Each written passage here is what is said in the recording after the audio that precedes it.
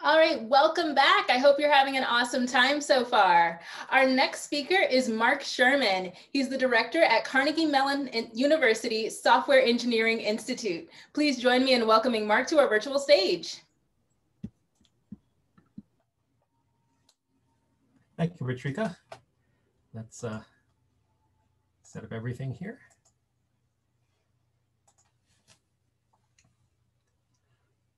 Welcome everybody to the session on transfer learning applications and deepfake videos. I'm Mark Sherman. I'm one of the directors of the Cybersecurity Foundations at CERT. CERT, uh, where I come from, is part of the Software Engineering Institute, a uh, funded research and development center by the Department of Defense, focusing on cybersecurity, software engineering, and artificial intelligence. Uh, we are part of Carnegie Mellon University, which is ranked pretty much in the top of all the subfields of computer science, including number one as a software engineering institute in AI, cybersecurity, and software engineering. And in particular, the CERT division was founded at the request of DARPA back in 1988 in response to the Morris Worm. So in some sense, we are the birthplace of cybersecurity, and we have worked with the Department of Defense, Department of Homeland Security, other federal agencies, and the private sector to improve the, both the uh, science and the practice of cybersecurity. Clearly, one of the emerging elements, one of the emerging risks in cybersecurity is fakes of various kinds. And so today we're going to spend a little bit of time talking about deepfakes. Uh, we'll start with some examples that represent a kind of potential. Uh, unlike other kinds of cyber attacks, there aren't really a lot of, uh, of deepfake attacks that have done a, a, lot of damage. They have done a lot of, uh, of hurt.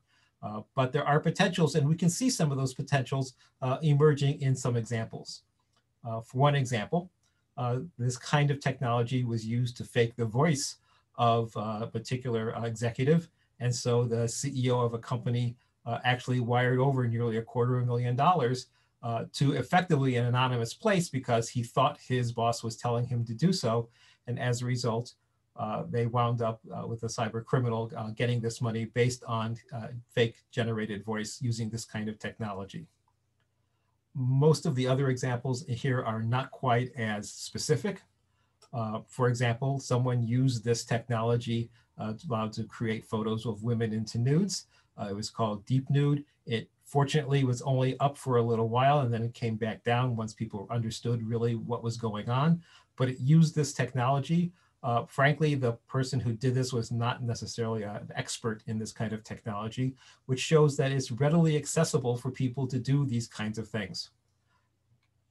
Uh, the final example I would use, again, the intention was benign.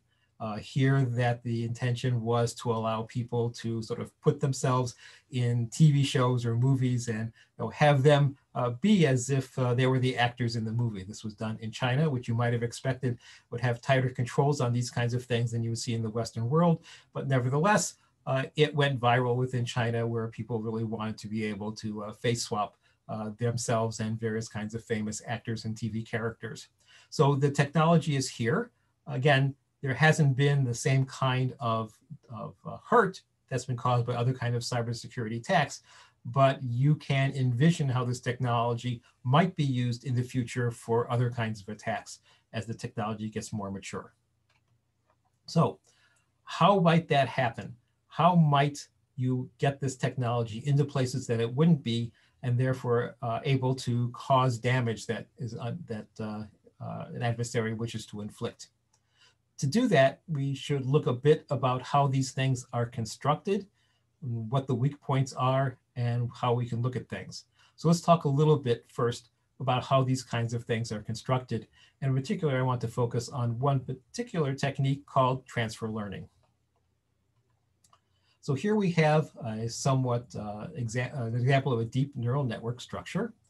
Uh, the idea is that at the far left side, you get input. So let's use uh, visual pictures as an example. So uh, each point on the left is a point on the picture coming in. And then you have these sequences of layers. And at each layer, it takes uh, a collection of the inputs from the previous layer, weighted in some way. So that top uh, uh, circle in the in the second layer may weight the first, the topmost input, you know, half, and may weight the bottommost input a third, or what have you.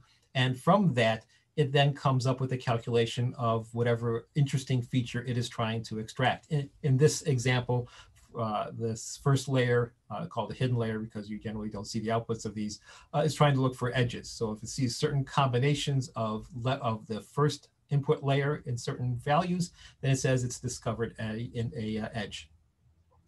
The next layer works along a similar kind of way. Now it's looking at com combinations of edges and says, oh, this looks like an eye, this looks like a mouth. And again, it does that by using various weighted uh, amounts of what, uh, what sees in the previous layer. In this example, the third layer is now trying to construct a face. Is it a face with a mustache? Is it a face that's uh, bald? Is it a woman's face? Again, it uses weighted values of the previous layers to come up with a calculation of what it thinks is seeing. And then that goes to the final layer. That final layer then says, this is a picture of Billy, this is a picture of Sally. And it bases that again on a weighted collection of the previous things here seen in hidden layer three. So at each stage, you're taking the other inputs, you're combining them in some way in order to extract more and more kinds of information. Now, to look a little bit deeper, but not much, we're not going to do a whole lot of math. Um, we can look at some of these numbers that are used. Uh, so in this case, there's three kinds of inputs that are coming in. And you build these by effectively filling in, if, to make it simple, random numbers um, for all these different kinds of weights on the nodes and the edges. And as you put in uh, training data, examples, uh, for example, let's say you want to look at bananas, find something that looks at bananas. Uh, you take in a banana, it will come through, it'll do this kind of calculation. And then at the far right, one of the nodes, let's say that top node will fire and say, I think I've seen a banana. If in fact you fed it a banana to begin with, you would say, okay, then these numbers look pretty good. If, if in fact you fed it an apple to begin with, would say, well, that's not right. The error, and that's what you're measuring, the error between what you expect and what you actually have, uh, says that these numbers ought to be tweaked. And again, there's some straightforward calculations that are done in order to change all the weights of the nodes and the edges that you see here. Now, after you feed it many, many examples, um, the numbers in there start to converge and you come up with what you consider to be an acceptable rate. So at the back end, you may say at 95% of the time, it guessed correctly that it was a banana, and you say that's good enough. Uh, there will never be perfection. These systems are statistical. Obviously, you're not going to look at every single picture of banana that exists. And so you need to come up with a criteria or a set of criteria by which you will say whether this uh, particular neural net is operating at the way you want. So there's a lot of numbers that have to be done and a lot of samples that have to be looked at. Uh, typically, you'll have hundreds to millions of these kinds of examples that have to be fed with pictures of bananas or dogs or cats or oranges or whatever it is that you're looking at in order to generate these numbers. Now, in this example, we have what, about 15 nodes, maybe about 50 edges. Uh, it's very modest kind of numbers. In sort of real examples, uh, for example, the recently released GPT-3 uh, deep neural net for natural language processing, it has 175 billion parameters. So imagine how many updates have to be done every time you, you, treat, you give it a, a, new kind of sample image of a banana, oh, in this case, it's natural language processing, a, a piece of text, in order for it to recalculate what those numbers should be. That is a lot of work. It takes a lot of time. It takes a lot of computation power. Building these things from scratch is a very difficult thing to do. And so people try to find shortcuts. And that's what um, transfer learning is. So if I could be somewhat crude, transfer learning is the cut, paste, tweak version of machine learning that people uh, do in other kinds of computer programming. So it starts with having a trained neural network, uh, here called the teacher network. Instead of having the individual circles, we just have these uh, rectangles representing each of the layers there. And we divide all of the layers in the teacher in two parts. Uh, one part we're going to keep, and one part we're going to retrain. So you start by uh, making a copy and throwing away the last stage, the thing that says this is an orange or a banana, or this is Billy or Sally. You throw away that one entirely and you start that one over from scratch. You then start feeding it new kinds of data. So let's pretend that the teacher was recognizing bananas for sake of argument, and you keep feeding it uh, examples of oranges because you want to build something that can recognize oranges.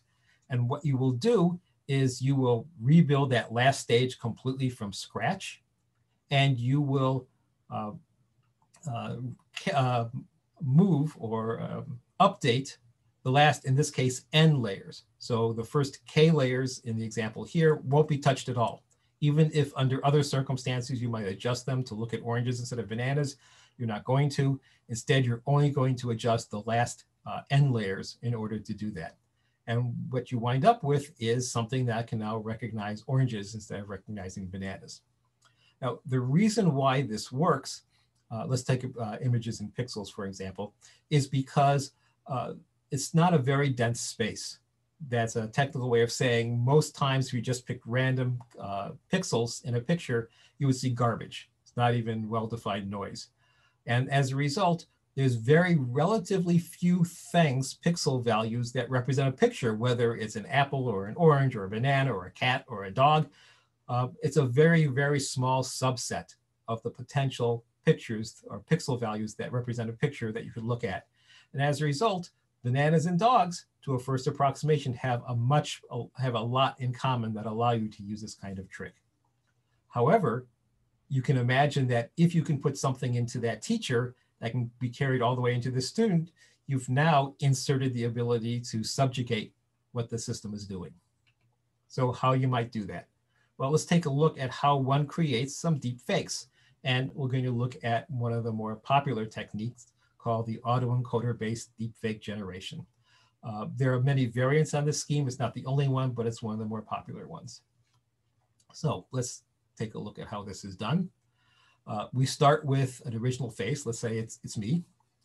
And we are going to build a neural network that can extract out key features of my face. So uh, where my lips are, how far apart my eyes are, uh, whatever other kinds of things that uh, can really abstract out the interesting features of my face. And we call that the encoder. And it generates an encoded version of my face. Not, uh, uh, no uh, special thing there for the name. Now we build a second part called a decoder, which you can think of as a reconstructor. So it takes the abstract vision of my face, you know, how far apart my eyes are, uh, you know, how, how open my mouth is, and can recreate my face based on those changes. So when I'm happy, my lips go up. When I'm unhappy, I have a frown. Those are the key latent things that are kept as features. And it reconstructs the rest of my face because it learned how the rest of my face looked. Again, it was trained with lots of copies of my face. As a result, you now have a system that can start with my face, extract out the unique things that are going on in my face for now, and then use that to completely recreate my face. We can now encode and reconstruct a master. In this case, I'm pretending to be the master in this uh, scenario. Now, one can do the same kind of process for a target. So let's pretend I want to manipulate you. So I can take your face. I can, again, run, run lots of copies in the system. It will extract out the special things that uh, describe your face. We can then build the reconstructor, the decoder of you, feed those special things. So if you frowned, it can take that and then reconstruct a picture of you frowning. And now we've got a neural net that again can start with a picture of in this case of you or whatever the target is, abstract out the key parts, and then reconstruct it from those key parts. Now, the secret sauce is the next step. The way these work is that the encoder, the thing that extracts out my special features and your special features, are actually one and the same. So they turn out to build common features between us. The way that I smile and the way that you smile are abstracted out into make us smile. The way that I frown, that you frown, are extracted out into how we frown. Based on that, we can, as you might you know, foresee, be able to rearrange these. And now I can frown. It will take the fact that I'm frowning out into the common set of features that are common to both of us. We can take that frowning features, put it into the decoder for you, that is the thing that constructs you, and now we have a picture of you frowning. I have now become the master, you have now become the puppet, and I've now been able to do the deep fake of you. So having done all this, can you tell whether this has actually happened or not? Well, as it turns out, the answer kind of is yes and kind of is no. Uh, there are, in fact, many, many, many different ways that people have attempted to uh, detect whether a deep fake has happened or not. Um, they depend on a variety of special artifacts. Uh, we talk about you know, using my frown and having it appear on you. Well, you have a certain physiology that goes on as well. You have a certain heart rate, for example. Um, we can look at that heart rate uh, going on in you and see whether that makes sense with what you're saying. Is the audio and the uh, and the video matching? Um, are is there some sort of disconnect? So although uh, you know we have some sort of frown, your frown and my frown really aren't the same. Does something there look very different? Um, there's uh, other kinds of analysis that can be done that don't have to do with either my frown or your frown at all. But when we use these kinds of systems, the math actually has residual kinds of fingerprints that it leaves in the generated uh, image. And so again, not visible to the human eye, but visible to the mathematician, you can go look for these kind of artificial artifacts that are sitting in the generated picture and say, you would only see that kind of frequency distribution if in fact one of these neural networks was the one building this image. This isn't a natural thing that would, you, would see coming out of a camera or coming out of something else. And there's a variety of, of what are called forensic analysis that can be done in order to do that. And if you look at the chart on the left, you can see some of the more uh, recent uh, work that's been done. In fact, there's been a huge amount of work that's been done recently in order to build these kinds of detectors. Um, the good news is there's been a lot of work here. Um, the bad news is they all rely on really specific kinds of, um, I'll call defects. Uh, and in practice, as fast as people are able to build detectors to find these kinds of defects, people who can generate the deep, deep fakes have found ways to generate things that don't have those defects. So the cat and mouse game continues and so far, we haven't come up with a way that can reliably detect uh, deepfakes to an adversary who is specifically targeting themselves to be hidden from a particular kind of uh, detection technique. And as a result, there's huge numbers of deepfakes that are readily accessible that can be fed into systems to try to uh, subvert them. And our attempt to look at them, and here's just some of the summary examples have not done very well. So uh, Facebook and others have put together a variety of deep fakes and tried various tools on them. Then you can see the best tool uh, could find about 70% of the time. Uh, most of the time is something like half of the time.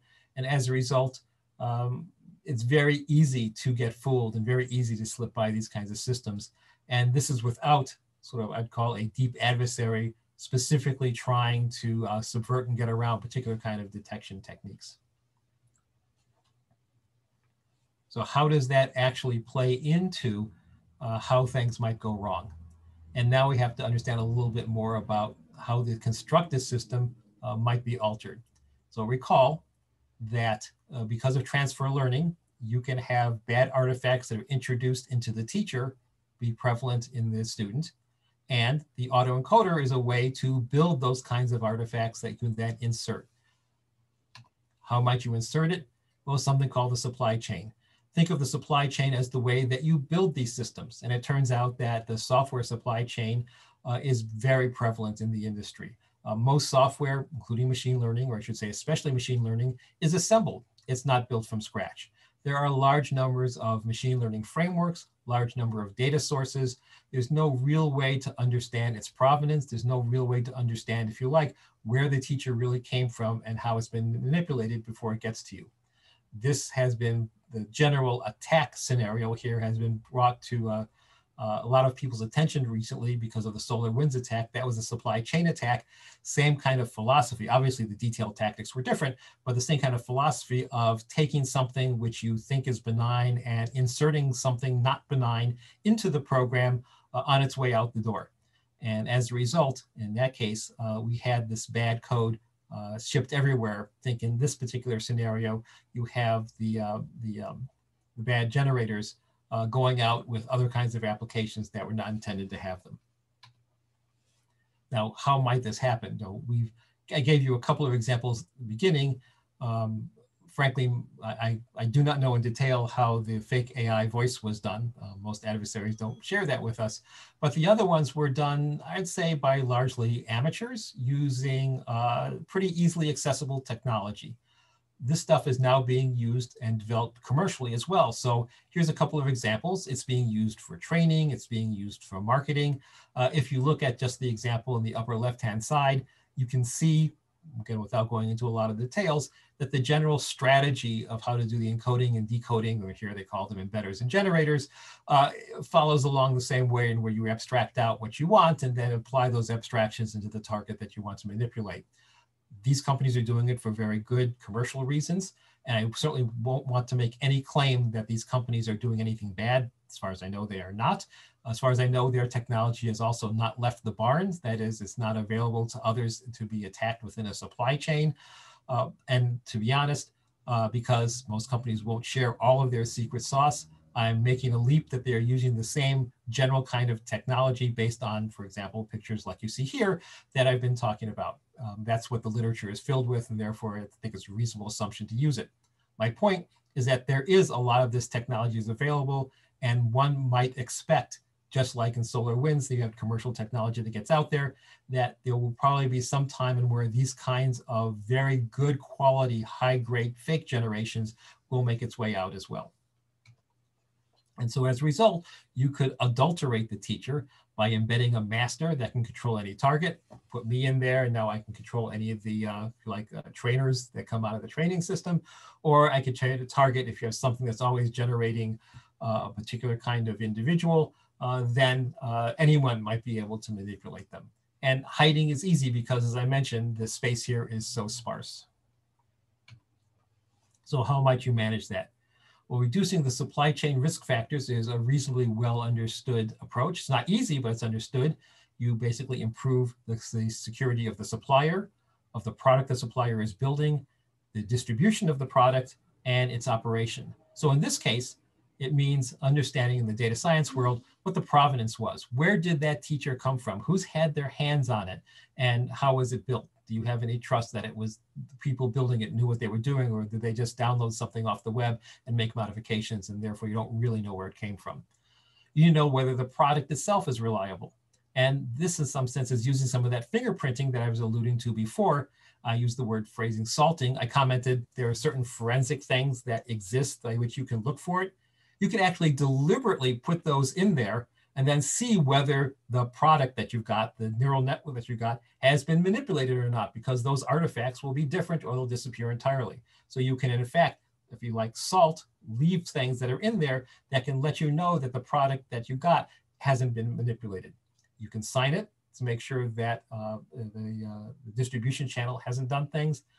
And the last one, which is frankly the most difficult, is education uh, as we have more and more different fakes of various kinds, people need to understand, uh, first of all, how they were created to know whether that there was a uh, chance that it was faked or not, and just to understand um, common sense uh, context. Um, if you have someone who says something they've never said before, um, if the person, if the place where the source came from is completely unreliable, you've never heard of them, um, if there's no second source for something, those are all kind of operational controls which by education you can say, this doesn't make any sense. I don't believe that. I see uh, uh, Mickey Mantle saying this. Mickey Mantle hasn't been around for a while. I don't think he can be talking about Facebook. Specifically, uh, in the product and supplier, you need to be careful of uh, insiders. Um, insiders have the most access to change the models, to change the training data. And for that, again, there's pretty well understood uh, approaches to manage the insiders, how you put processes into the organization, the kind of tools you use to manage it, and much of the time training. Um, most insiders are really quite accidental. They don't realize they're making uh, bad decisions. And with training, that can be ameliorated. Finally, on the operations, this has to do with understanding whether you really can trust something or not people are using this and it's true that right now these systems are opaque. We really can't see how they're doing their things. And as a result, there are some misgivings, at least in the business world. Uh, but in the, in the uh, so I'll call the public world, uh, people are less um, discriminating about whether they accept the outputs or not. If it came from the computer, if they see it on YouTube, they think it's for real. And so we need to have both better explanations of how things were generated, and we just need to carry out more kinds of education and have people experience what these things look like, what are good ones, what are bad ones, in order to recognize when uh, something has been manipulated. Uh, people right now already understand airbrushing, that this you know particular actress really did have crow's feet on some particular day, and now they can, you know, not fooled by that at all. But uh, this has to be extended as well.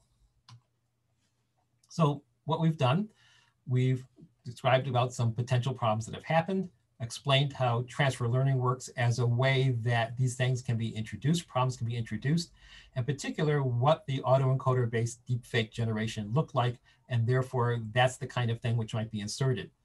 There's a lot of work on detection. It's not quite up to snuff yet, but it's something that uh, we need to continue to work on and realize how this gets in through the supply chain used to build these kinds of transfer learning applications.